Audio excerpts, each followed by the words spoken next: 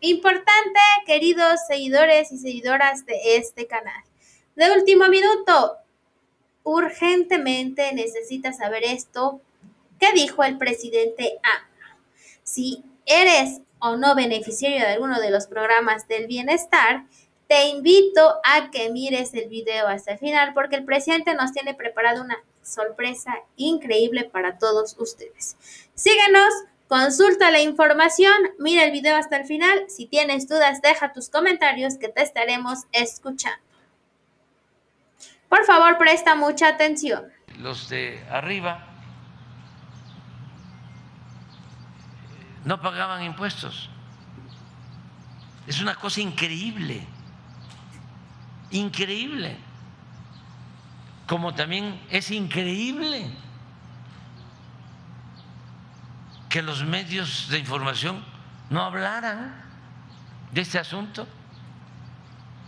Increíble. Porque no estamos eh, tratando de que los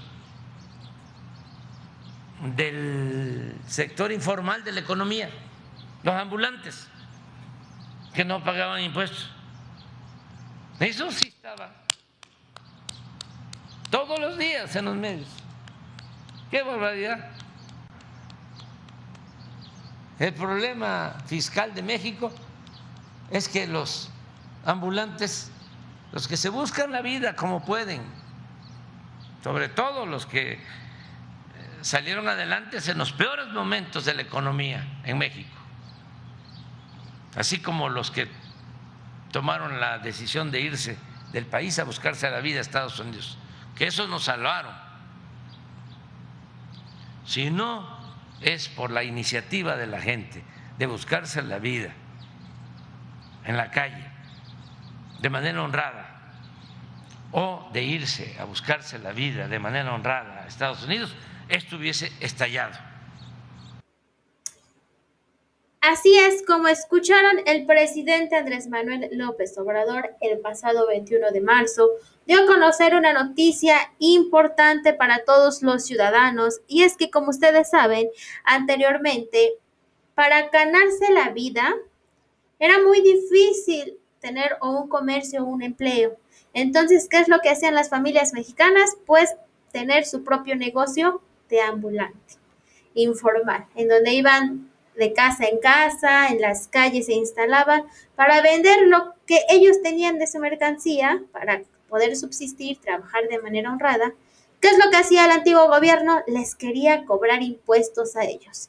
Mientras que las empresas gigantes no pagaban nada, simplemente por ser el amigo del presidente, por ser amigo de algún encargado director, ellos no pagaban nada, mientras que a las personas que estaban tratando de subsistir, de salir adelante, les querían cobrar todo. Y como dijo el presidente, él agradece mucho a aquellas personas que trabajaron de manera honrada, no solamente aquí en el país, sino también aquellos que salieron del país para buscar una mejor calidad de vida, ya que gracias a ellos nuestra economía dentro del país ha mejorado. Más que ser un país lleno de personas flojas, como nos lo llegan a decir, somos un país con personas que tienen iniciativa propia, con ganas de salir adelante. ¿Por qué? el presidente lo dijo, hay gente que trabaja de manera honrada, a lo mejor no está dado de alta ante el, ante el SAT, no está como tal entregando impuestos, pero de una u otra manera paga al momento de comprar en una tienda comercial porque les quitan el IVA. El presidente estaba muy enojado desde que él entró como mandatario de la República Mexicana, porque él vio esta corrupción en donde las personas ricas no pagaban nada y las personas necesitadas pagaban de más. Por ello, implementó algo que en la actualidad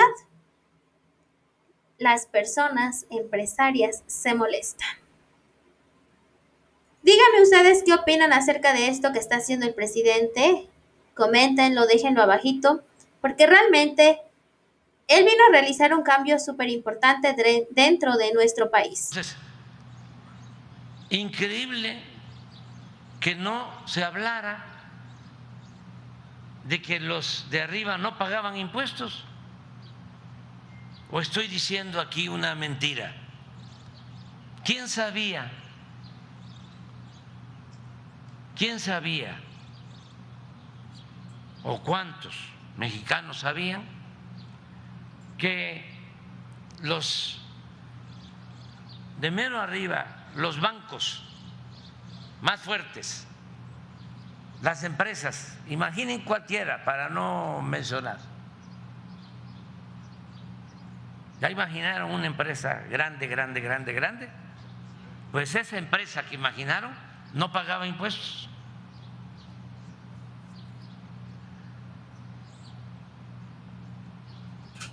Entonces, una gran injusticia. Entonces, como se está corrigiendo esto, pues se presentan estos casos. Aquí podemos escuchar el claro ejemplo que el presidente nos marca sobre las empresas que no pagaban impuestos y que al final de cuentas vivían así, sin tener que estar contribuyendo al pueblo o al país mexicano y mientras que las personas que de verdad lo necesitaban, necesitaban de un apoyo económico, tenían que estar pagando impuestos porque trataban de salir adelante. Estas acciones y medidas preventivas que el presidente tomó en cuenta realmente lo han apoyado, pero también afectado de una u otra manera, ya que los empresarios y sus opositores lo han criticado demasiado. Ayer me acordaba, porque hay muchas cosas, ya por el post-COVID, y este, y por la edad, ya ven que dicen que ya estoy chocheando, que soy, dicen mis adversarios, ¿no? Viejo guango, ¿sí? Sí, sí, sí, sí, sí. Viejo, sí, guango, ¿no? Este, pero me estaba yo acordando, me estaba yo acordando que al inicio, cuando iniciamos, eh, quedó muy claro, no van a haber privilegios fiscales Siempre ha sido nuestra lucha. Eso es corrupción. No van a haber privilegios fiscales. Siempre. Lo tengo eh, escrito en varios libros. Bien, ustedes mismos acaban de escuchar cómo lo han criticado, como él mismo menciona, me han dicho viejo guango, soy viejo pero no guango, pero así como me critican, yo les he demostrado que sí puedo y miren que lo has hecho con guante blanco porque no ha buscado la manera de afectar a sus opositores, pero sí de que la ley se cumpla. Por eso hay gente que lo critica mucho, hay gente que no quiere que esto suceda y es lo mismo. En este caso él decía, ¿por qué ustedes ahora se quejan? ¿Por qué ustedes ahora me exhiben? Si hace 6, 12, 18 años estaba pasando esto, no pagaban impuestos y ustedes no lo daban a conocer. Ahora que yo empiezo a hacer las cosas de manera correcta, se molestan y empiezan a juzgar y a criticar. Es que nosotros decidimos no permitir los privilegios fiscales.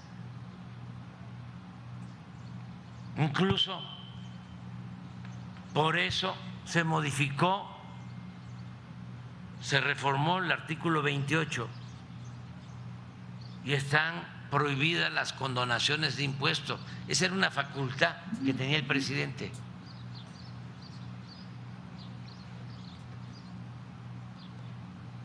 Y me acuerdo que cuando se envió la iniciativa, algunos legisladores decían, vamos a ponerle de que pueden haber excepciones Y dije, no,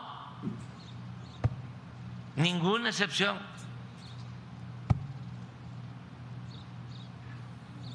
Se prohíbe la condonación de impuestos, porque por encima de la autoridad presidencial está la Constitución.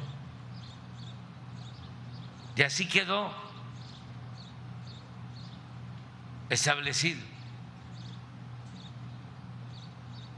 Entonces no es eh,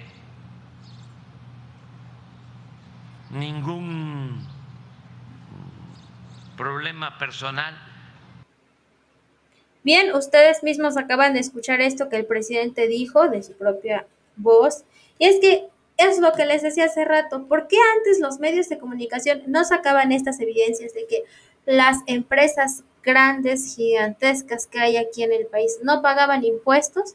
Solamente se quedaban callados y ahora que el presidente está haciendo bien su trabajo, lo están criticando porque está solicitando esos impuestos que le pertenecen al país. Espero les haya gustado este video. Si te quedaste a mirar el video hasta el final, muchas gracias, te lo agradezco. Coméntanos, dinos tu opinión.